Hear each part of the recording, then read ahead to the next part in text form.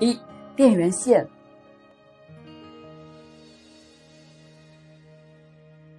二、脚踏开关，用于控制戳线。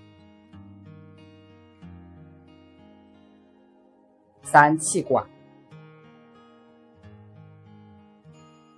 四、气源过滤器。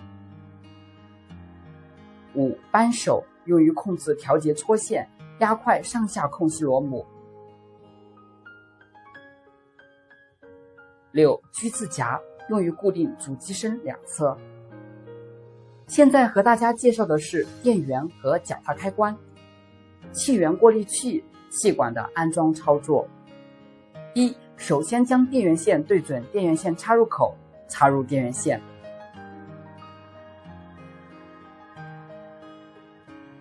二、然后将脚踏开关电源线对准脚踏开关电源线插入口，插入留紧。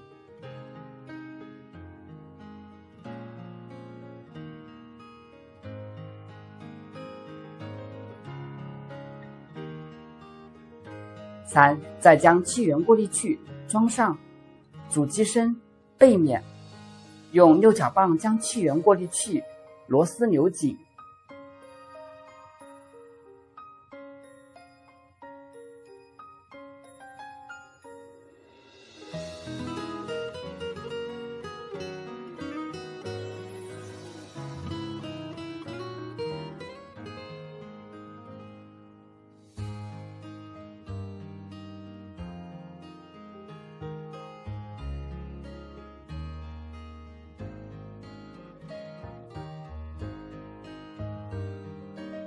四、将主机气管与气源过滤器右侧气管插入口对准插入。五、将气管连接好输气管接口，连接好输气管后，将气管尾端对准气源过滤器左侧气管接口插入。接下来和大家介绍的是气源过滤器的每个开关功能。一、手滑闸。用于控制开气和关气。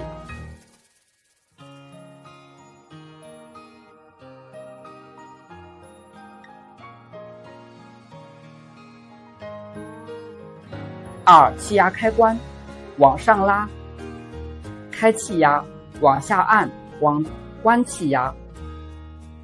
三、气压表，看气压大小是否正常。最后和大家介绍的是。主机身调节气缸和搓线压块。一、调节气缸左右和搓线压块左右的速度。二、调节气缸上下和搓线压块上下的速度。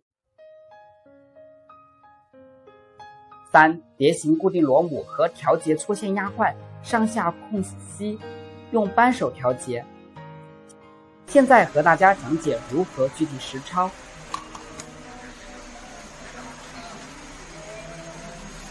将退好皮的线放入搓线口，